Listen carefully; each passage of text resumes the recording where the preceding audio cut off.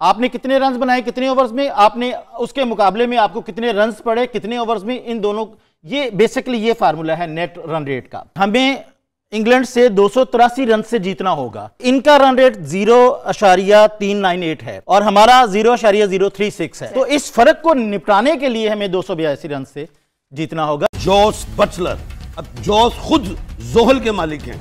वो पावर रखते हैं टास्क जीतने की। इधर बाबर आज़म, वो वीनस के मालिक हैं।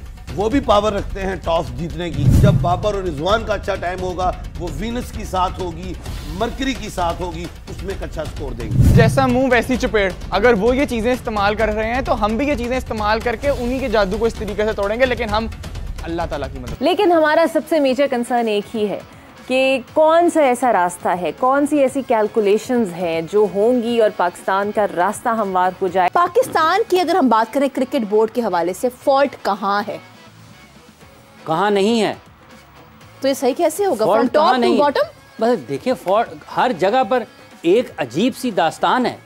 नाकामियों की बद इंतज़ामियों की लड़ाई झगड़ों की ज़ाती मफादात की पसंद नापसंद की कहाँ पर नहीं है? गजब हो गया सब बर्बाद हो गया सब खत्म हो गया। जबकि अगर मवाजना किया जाए पाकिस्तान के नेट रन रेट के साथ तो इस वक्त plus point zero point zero three six तो नाजरीन अगर पाकिस्तानी टीम इंग्लैंड के खिलाफ मैच जीत भी जाती है तो तब भी बड़ा मुश्किल है कि इस नेट रन रेट को पाकिस्तानी टीम मैच कर सके। दूसरी तरफ़ पाकिस्तान की तमाम उम्मीदों पर बसाहिर पानी फिर गया है। पाकिस्तान वर्ल्ड कप सेमीफाइनल की दौड़ से तकरीबन बाहर हो गया। इंग्लैंड को आखिरी मैच में बहुत बड़े मार्जिन से शिकस्त देना होगी। अब कितने चांस है हमारे सेमीफाइनल में पहुँचने के? पहला ये अहम सवाल फिर मैच पे आएँगे। तकरीबन पिछले दो हफ्तों से पाकिस्तानी फैंस के जो आ, तड़पने का सिसकने का और तरसने का सिलसिला था। मेरे ख्याल आज जाके वो ख़त्म हो गया। खत्म?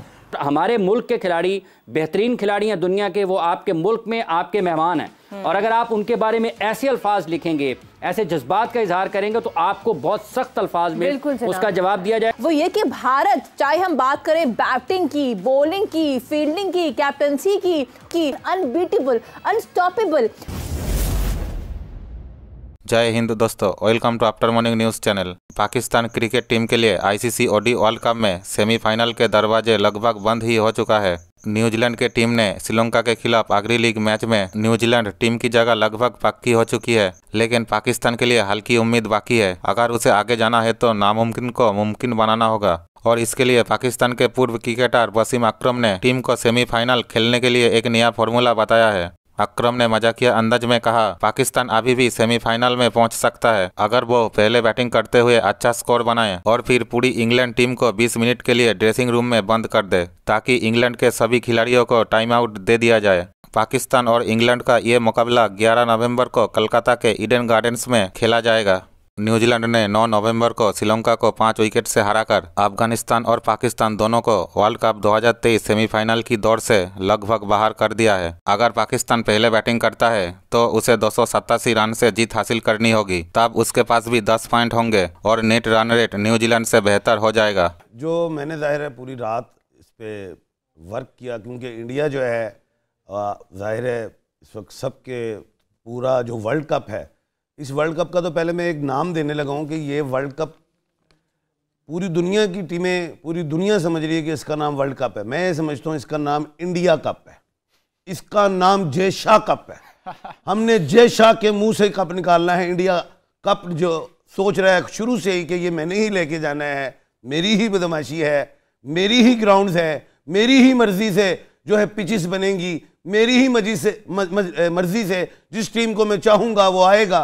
इंज नहीं होना सुनिया गल है जे तुसी एस्ट्रोलॉजी जानते हो तो मैं भी जानना तो मैं अब टीम अनाउंस करने लगा हूँ अल्लाह के हुक्म से और मैं इसमें सबसे पहले अल्लाह ही का नाम लूँगा और पूरी कौम को यही कहूँगा कल मैच ऐसा है और उस मैच के लिए मैंने पहले भी आपको कहा था जो पैंतीसवां मैच था जो पाकिस्तान जीता वो कौम की दुआओं से और ओवरसीज़ पाकिस्तानियों की दुआओं से हम जीते थे और वो तस्वीर मैंने बताई थी या फताहू या मुतकबिरू ये पढ़नी है अब मैं इसकी तादाद मैं नहीं बता रहा, बस आप बैठे मैच देखें और तस्वीर फेरते रहे। अल्लाह का नाम लेंगे। इन मैंने कल टेरट कार्ड निकाले, उसमें पाकिस्तान जो था मुश्किल में था, मैंने खुद निकाले घर में। फिर मैंने कहा, इसमें दुआओं का कितना किरदार है? जब वो निकाला तो हमने कप उठाया हुआ था। मैं आपको कहता हूँ, कौम को कहता हूँ कि आपने तस्वीर नहीं छोड़नी और इन हम अल्लाह के हुक्म से निकाल के लाएँगे। और एक बात और बता दूँ जितनी मर्ज़ी चालें चल रहे हैं इंडिया।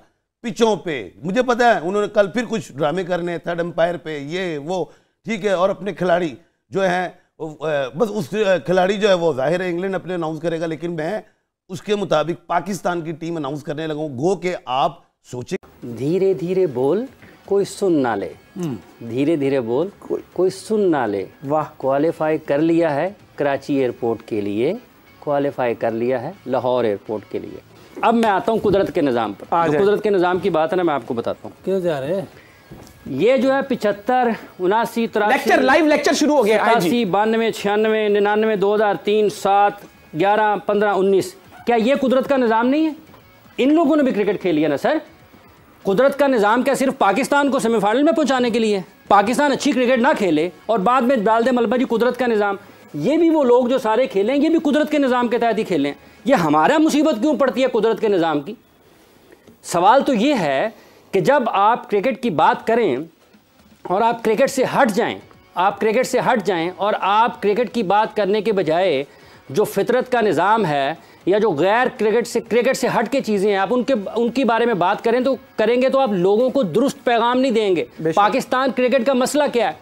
पाकिस्तान क्रिकेट का मसला यह है कि हम क्रिकेट से हट के हर बात करते हैं। अब मुझे बताएँ क्या मिकी आर्थर ने क्रिकेट की कोई बात की? नहीं की। वो कहता है जर्सियाँ वो कहता है दिल दिल पाकिस्तान। उसको ग्राउंड में पाकिस्तान के लोग नज़र नहीं आते सपोर्ट करने के लिए। क्या जोश बट्टर ने कहा कि हमारे लोग सपोर्ट करने के लिए नहीं थे? उसने कहा हम अच्छी क्रिकेट नहीं खेले। क्या मार्कवुड ने कहा कि मुझे पिटाई हुई है तो मुझे यहाँ पे हालात अच्छे नहीं मिले अच्छी नहीं अच्छी नहीं मिली थी? दुनिया क्रिकेट की बात कर रही है और हमारे यहाँ पे ये कहा जा रहा है कि बाबर आज़म अच्छा खिलाड़ी नहीं है। हमारे यहाँ पे कहा जा रहा है कि विराट कोहली अजीम खिलाड़ी नहीं है। हमारे यहाँ पे कहा जा रहा है कि दुनिया, भारत को कोई और गेंदें मिल रही हैं। और सर, मसला ये है कि लोगों को मिसलीड करते हैं। वो लोग जिन्होंने लोगों को रहनुमाई करनी है, दुरुस्त रास्ता दिखाना है, ये कुदरत के निज़ाम पर लगाया किसने है लोगों को? बानवे की बात है ना? तो बानवे की जो बानवे में जो नुकसान हुआ है पाकिस्तान की क्रिकेट का वर्ल्ड कप जीतने के अलावा कभी उसके ऊपर किसी ने तवज्जो दी है? एक शख्स ने मरकज बना लिया ताकत का, सब कुछ अपना, कि मैं ही सिलेक्शन कमेटी हूँ, मैं ही कोच हूँ, मैं ही कप्तान हूँ, मैंने सब कुछ करना है। उसका नुकसान क्या हुआ है? आज तक पाकिस्तान के क्रिकेट का सिलेक्शन कमेटी का निज़ाम कोचिंग का निज़ाम और कप्तान का निज़ाम ठीक ही नहीं हो पाया। हर कप्तान ये कहता है कि मैंने इमरान खान बनना है। हर कप्तान सिलेक्शन कमेटी की बात नहीं मानता। हर कप्तान कोचिंग स्टाफ जो है उसको एक साइड पर करता है, कहता है, वो करो जो मैं कहता हूँ। कप्तान को इख्तियार होते हैं, लेकिन आप निज़ाम बनाते हैं, उसके अंदर चीज़ें घूमती हैं। मसला पाकिस्तान का ये है, आज भी हम लोगों को मिसलीड कर रहे हैं। ये कुदरत का निज़ाम सिर्फ़ पाकिस्तान की क्रिकेट के लिए नहीं है, सर। आपको जवाब देना चाहिए कि आपकी टीम हारी क्यों है। आपकी कारकर्दगी खराब क्यों थी? आप जब प्रेस कॉन्फ्रेंस में आते हैं टाइम किल करते हैं, लोगों को सच नहीं बताते हैं।